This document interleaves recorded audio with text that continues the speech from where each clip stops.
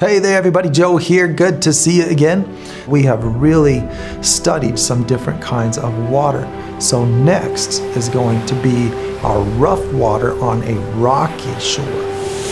You know, not all waves are the crystal clear, beautiful beach wave that I love to paint. This is something that I also find really inspiring. And I'm just sitting here admiring the, the smallness that I feel when I'm next to this giant ocean just plowing into these rocks.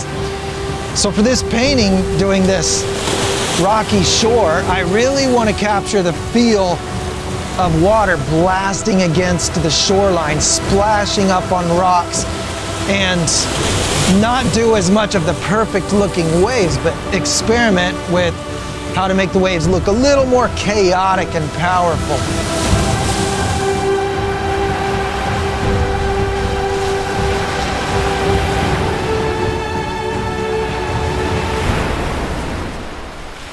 I'm gonna put my sky together first. I like to do an occasional little dunk in the water with my brush. Quick little dunk, like that really makes the paint flow out. If all I'm trying to do is get color on there.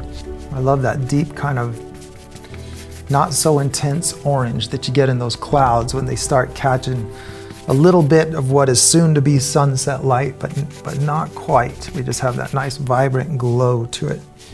Here, let's put a little bit of sky, that'll be fun. Let's put just a touch of the sky color right in here. Watch this, just junk, hardly anything.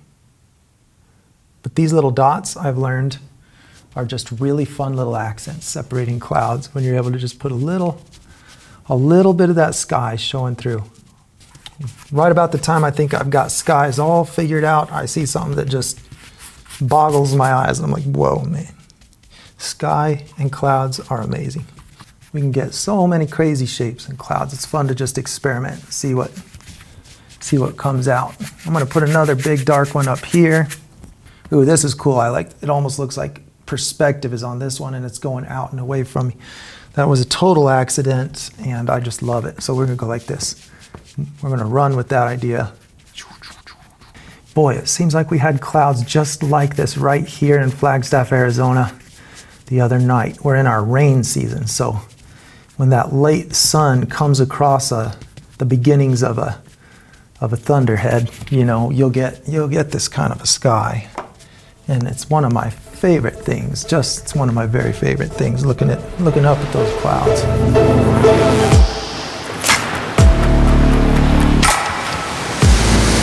Notice that everything on the beach here, we're not gonna do any dry beach on a scene like this. Everything's gotta look dark and reflective. So dark colors on my rocks and my reflection color on the edges of all of them. When you look at these rocks, you can see reflection on all of them. Some of these more orange colored rocks, I see little specks of the sun reflecting on them. I'll use an orange for that. And I see longer strips along the edges of them of my lighter blue reflection where it's facing more toward that sky. Another cool thing to include in this painting, I think, will be that I can see some rocks in the faces of some of these waves. So I'll make sure that I, you know, see how you can just barely see rocks in the faces of those. So I'm gonna make little bits of rocks kind of poking out of the bases of the waves, like, you know, try to add that sense of motion. It's gonna envelop the, the shoreline. I look at a scene like this and I think about what else could I add. I, I get to paint it, so I'm gonna you know, I'm going to fantasize a little bit of everything else that it could be. Maybe add some taller, more dramatic cliffs, but the principles are all right here. I can just look at little things. Oh. I mean, I love it so much, I lose my thoughts when it comes. It's like, it's awesome. You know, we've got a lot of reflection on the rocks. So I'm starting with pure black, and just like I did the first time, I'm gonna put that maroon color on there and I'm going to build a, a slope coming down right here. I'm going to let that maroon mix with pure black and it's going to turn into a brown and then add white. I like to see a difference between light and shadow before I get to the white so that I'm, I'm using a shade of brown as like a midtone. Because of the way paint mixes it, has a way of removing the midtone. Uh, and so what we do is we always keep color in between light and shadow. The way I do that is by first mapping out where the light and shadow is. I think that'll look cool if I just throw in a little bit of that, that dark purple wherever I have these dark shadows. Don't need a lot of it, just a little in there will be cool. I can really bring this shoreline down at an angle to make this feel like we're looking down at something coming toward us. And we got a real big one up in here. Let's put that rock going like this. I want to visualize this scene. We've got our sketch showing these little rocks going out, so I'm just going to follow that.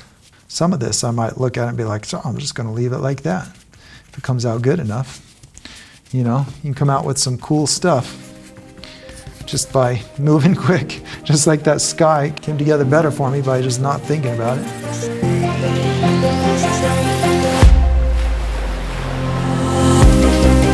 I want to use darker color for all that deep water out there. And that's going to give me a dramatic look. When I have brighter reflection of, you know, maybe a reddish colored light, like a, an evening scene similar to this one. I just love the drama. I'm thinking dramatic light, dramatic waves, dramatic rocks. And so, you know, you can see right here how, how good it looks to have dark color on your, your underwater, on the face of those waves when we're doing the more turbulent water.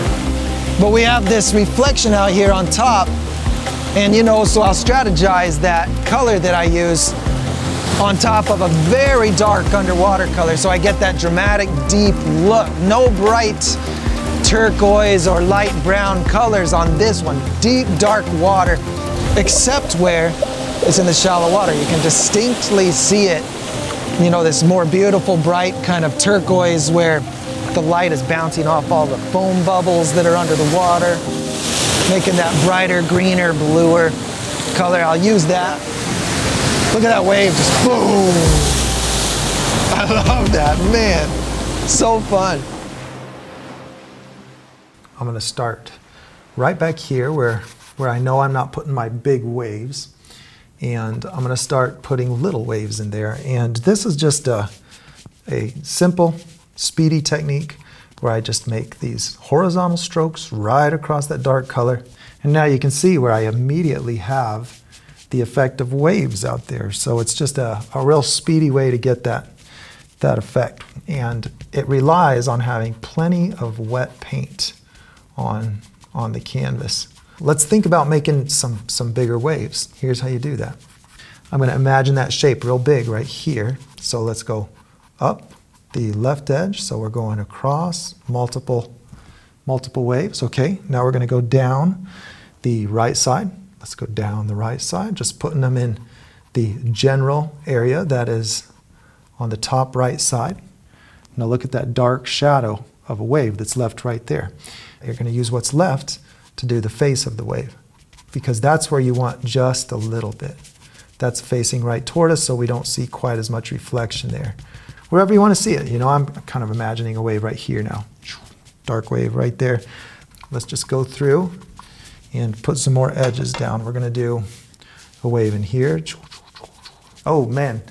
So I'm going to get more of my reflection color and start making my shapes. Once that falls just far enough, it starts to roll up under the wave. I gotta make sure I use my darker purple colors in order to create that, that shadow.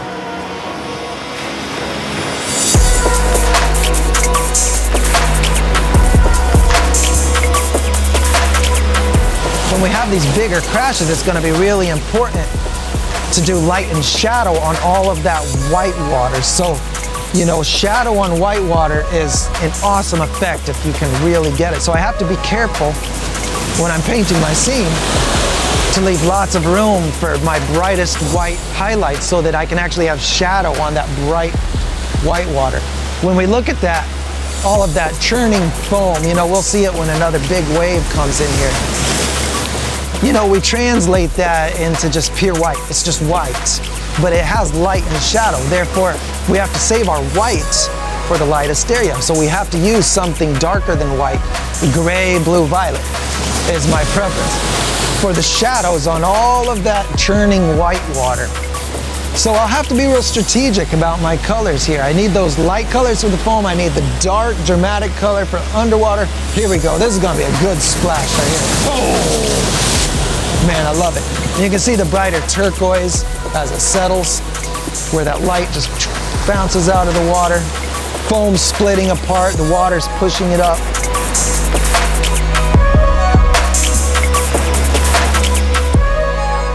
And then in here, it's gonna suddenly just blast up where it hits this rock.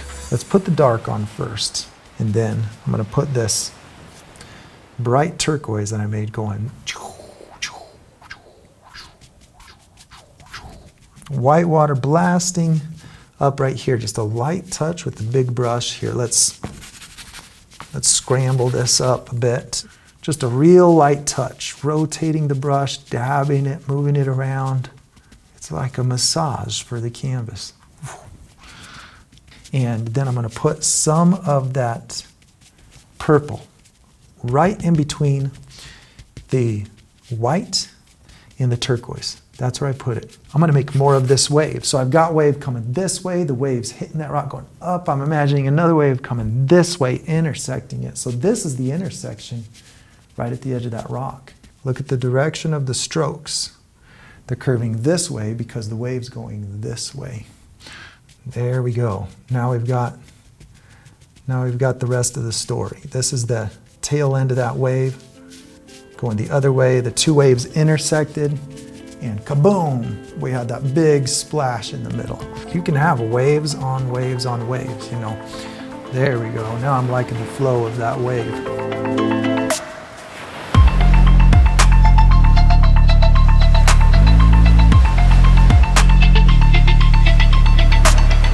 So we can see the foam really well, how the, how the bubbles rise, they push the foam apart, and what's left in between those areas is little strands.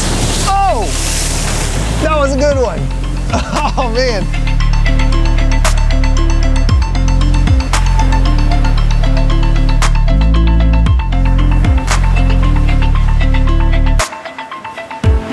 So, you know, I always have to think about what is forming what I'm looking at? What is the process that forms it? Because my paint technique is usually built off of that, that understanding of formation. How can I simulate that same process with my paint to form the things that I want on my picture? So this foam, you know, the, the bubbles come from underneath, they push it apart, and it's the skinny strands left in between connecting little, you know, little clumps of foam, skinny strands. So we can see that real clearly happening here. So I can try to, you know, use that knowledge to make believable shapes again with my foam. Here a wave has already hit and gone out to sea where I have painted the foam on top of the water. In other pictures, this one I'm going to paint the water in between the foam because that's less work. When I know that I've got a lot more foam than water, I'll paint the part that's it's going to get me to my result the fastest. So I just want to create the kind of shapes that might be result from the water coming up and pushing the foam apart. Let's get some bright white now. Highlight some spots. I want this dark underwater color at the base of this wave. Like this. Let's get rid of that little drip. I want it to tumble out you know, according to my sketch, when you see me doing this, I'm not destroying a brush. I'm, I'm holding it at that distance right there. So we get a wider tip on that brush and get perhaps a more a wider fan shape to do some more distributed white water. Put the shape, I'm really paying attention to these curves, making them go through so that my perspective makes sense here. I'm just gonna get my colors in place first. I wanna make sure these colors are where I want them. Now I'm gonna put the light purple, that reflection color right in here. Oh yeah, I'm liking the look of that. That's cool. Let's put some more white in there. Boop. Just little spots. Oh yeah, man, I'm loving the look of this.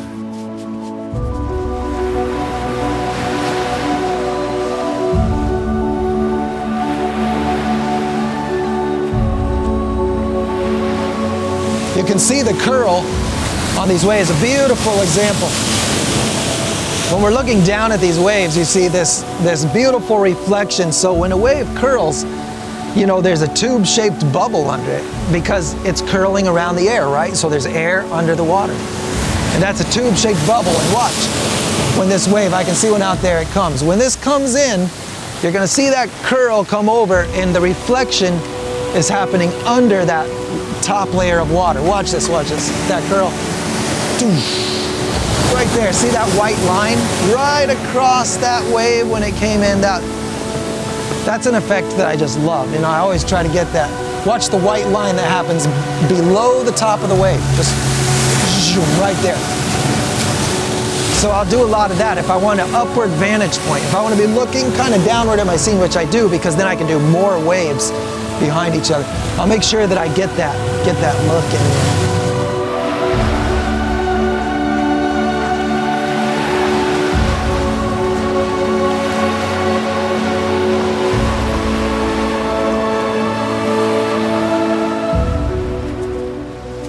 I'm thinking there's a there's a wave right up here, like that, a wave right here behind this one. We're gonna put a real big splash.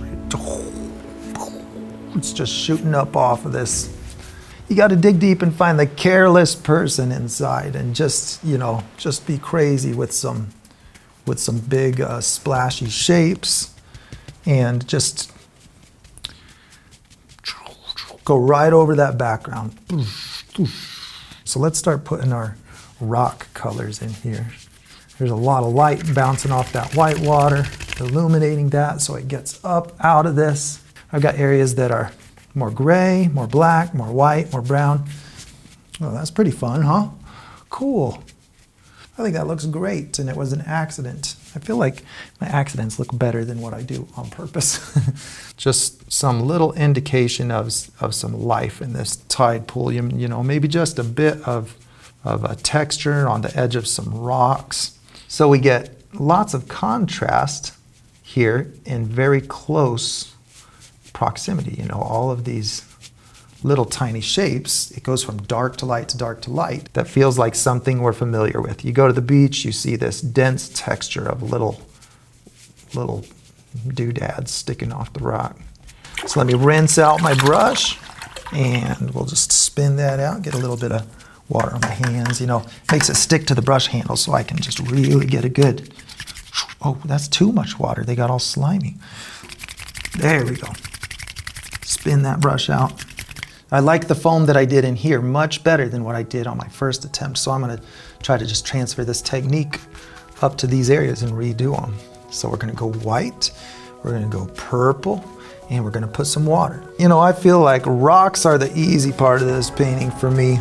That's my, that's my comfort zone, is just, we're just putting in some black, some maroon, and some white. We're swirling it together, trying to put the white on the more colorful spots. That's the workflow.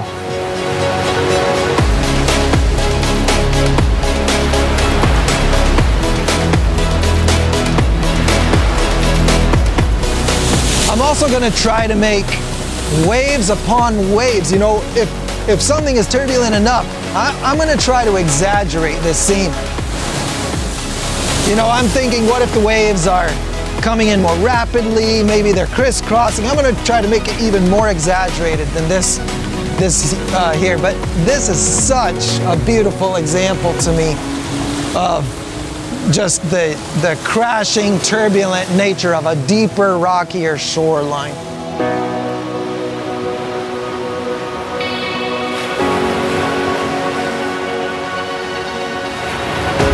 You know, when you have a wave on top of a wave, it just happens because they're close enough together. You have a big one and you have little ones. You know, waves don't disappear. They just are kind of the the sum of the amount of water that's in that area and it just, just you know, it's just moving across the water. So when you have a wave combines with another wave, it's always just the sum of the combination. So you'll have a bigger wave where two cross each other.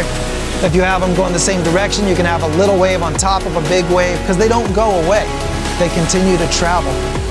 You know, I think I'm at a place in my painting where I feel really confident about the building blocks that I found, but now I'm thinking, how can I do a better job of just creatively mixing those things up?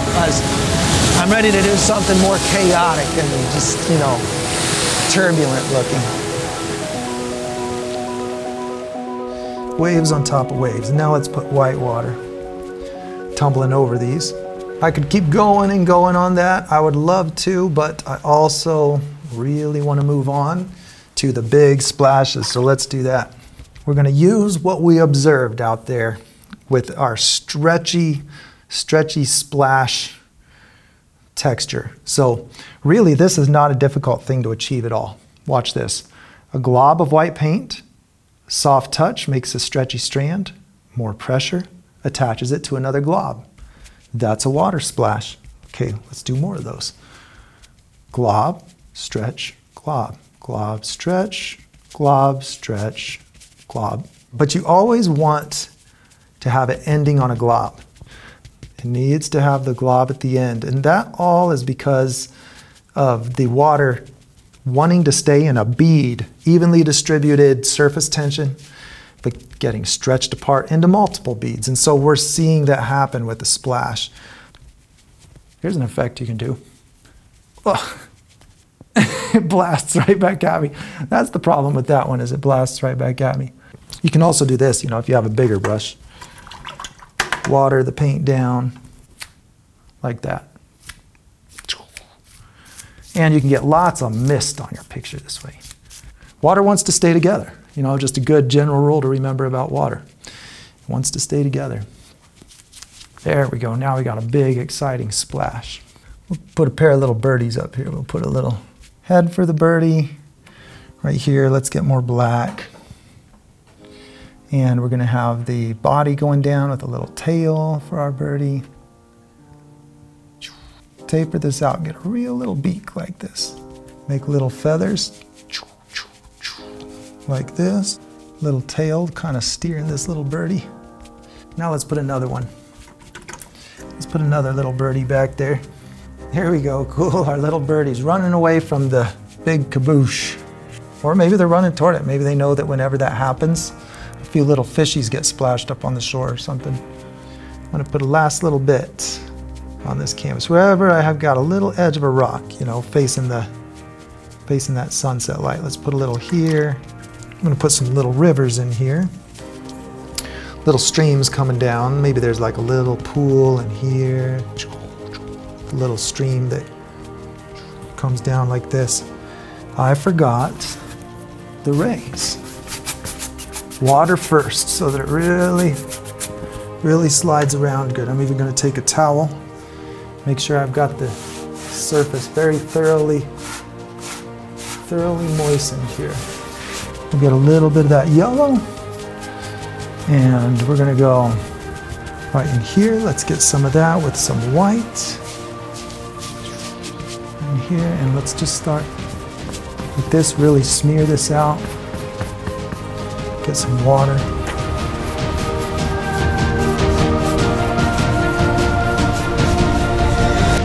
Oh, I love that. That's the spot right there.